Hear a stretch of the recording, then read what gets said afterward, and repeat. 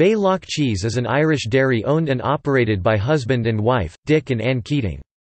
Bay Lough Cheese produces cheddar-style cheeses using vegetarian rennet and unpasteurized milk.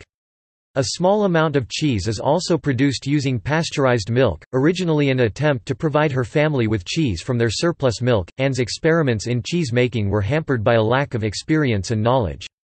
After a number of relatively unsuccessful attempts, an improved cheese was developed that had business potential.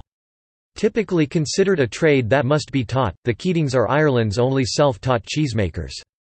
They were also among the early adopters of naturally bandaging coating with wax cheese.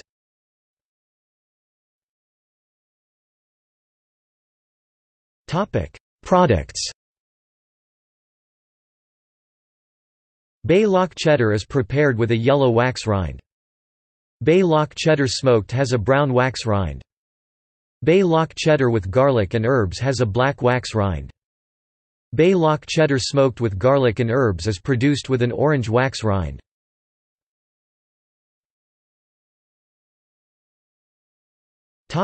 Awards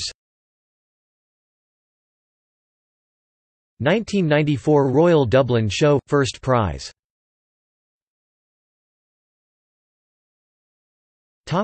See also.